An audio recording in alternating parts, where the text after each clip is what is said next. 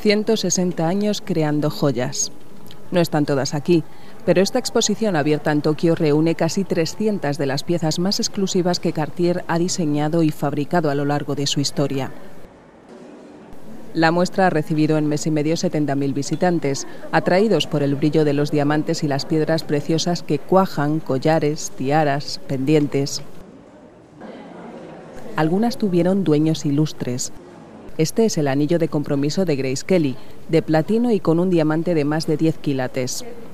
Y Winston Churchill regaló esta pitillera de plata a su hijo. La actriz mexicana María Félix fue buena clienta de Cartier. Cuenta la leyenda que envió al joyero dos cocodrilos bebé en esta posición para que le hiciera este collar.